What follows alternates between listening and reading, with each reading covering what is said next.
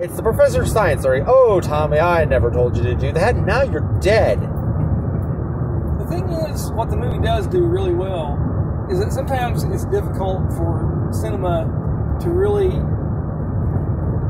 give you a feeling for the passage of time. True. You know, the repetition of time. Yes. And and and Groundhog Day really does give you that feeling of of he he goes through this Constantly.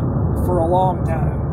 I think he calculated it was like 100 years or something, 150. Yeah, I don't know. But yeah, he, he yeah, you definitely get a sense that, it takes a long time for him to go through the frustration and then the first of all, he has to understand what's going on. Then he, then he starts to experience frustration because he can't get out of it. and then he, he accepts it. And then he accepts it and realizes that it's actually a great opportunity to Do something good. to expand his skill set and do something good. And then he realizes that he actually gets the most pleasure from contributing to people's lives as opposed to simply I think it's actually a plus for him, though, too. He can ask Andy now all these questions, wake up the next day, and he has all this knowledge.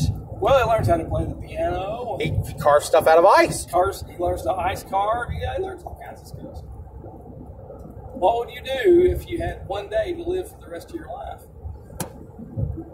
I honestly don't know. I really don't. Well, that's what I mean. That's what Groundhog Oh. Day. Thank you. I mean, then then again, I mean, every day is The same day over again. every day is a day that you you have to live. So Yes. I don't know, getting more philosophical there, but still, he had an unlimited number of that day. Exactly, yes. See, this is good stuff for YouTube. Also, remember if you do like these videos, like, comment, subscribe on the page, Connar Cowan, and go from there. You'll get more up and click the bell, notification bell to get more updates.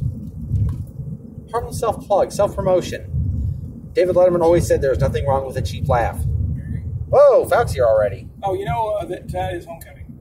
Oh, thank you. Thank you for telling me that. Why didn't you tell me this sooner? I, I, I, I, it just occurred to me to tell you. I, I, you big dummy. I, I, I. Say like Don Rickles out there going, I, I, I, I, and Johnny Carson about to beat him upside the head. Tonight is Horatio's homecoming. Yes. Nina's homecoming. Uh, It's tonight too, I think. yes. We Well, them. was sort of. Sort of. There's some other places down here. We'll see if we get some. Okay. But